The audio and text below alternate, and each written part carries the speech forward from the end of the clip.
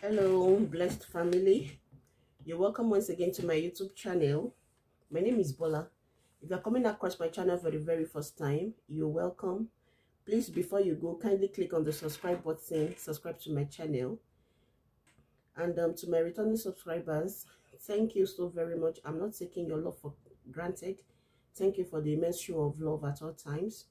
Thank you for watching my videos whenever i drop new ones and I pray that God continue to bless you and yours always in Jesus name. Amen.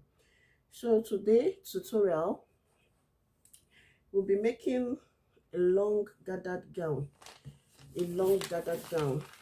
This is a simple illustration of what we'll be making for today. Is a long gathered gown and we can see that uh, is in three tiers is in three layers the upper parts the middle part and the third part the third layer. Okay this is what we'll be making. Is a gathered gown. It's a free gown. It's a gathered gown.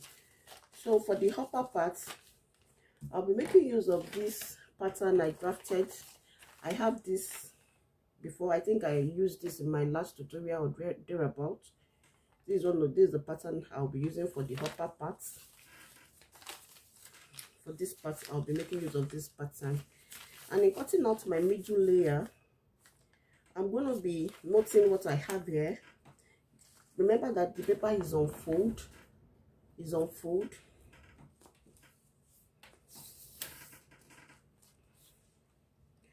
I'll be noting what i have here. This is 13.5 i have 13.5 when i open it up it will be 27 okay?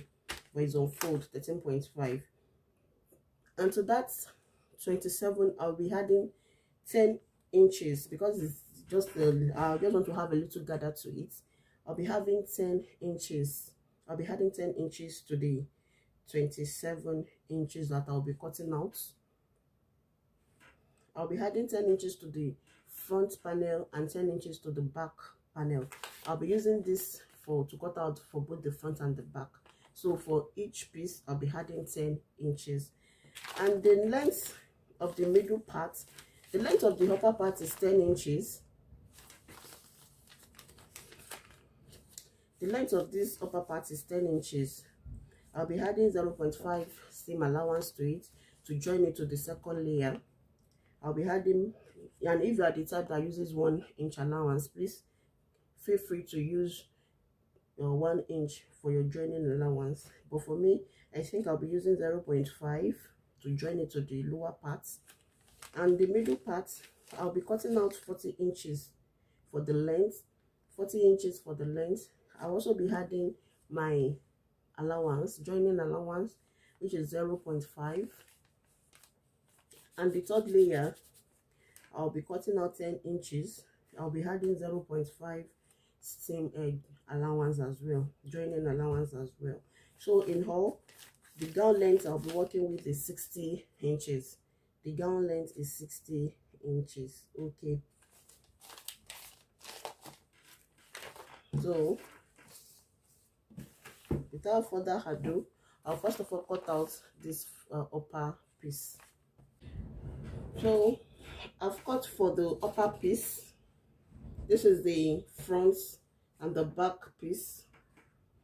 So i have to mark it to indicate the uh, right side from the wrong side. So this is the upper piece. And i i cut about 11.5 shoulder allowance inclusive. This is about 11.5 shoulder allowance inclusive. So when i join the shoulder and I attach this point to the middle piece it's going to fall back to my 10 inches. And note that i cut it sideways. I cut it sideways. I cut it this way. Sideways. That is how i want the upper piece to fall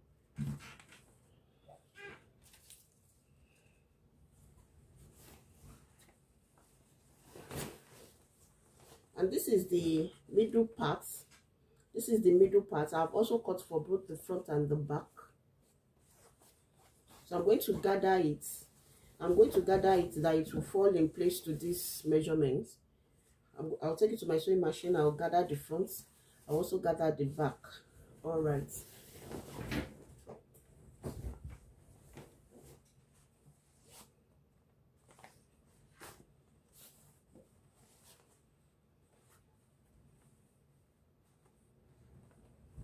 and this is the last piece the third layer. Is the third layer. I'll also be gathering it.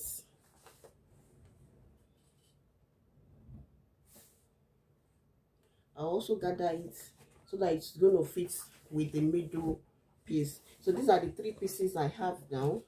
I'll take it to my sewing machine to gather it up and attach it. Then i'll be bringing it back to you to show you the final results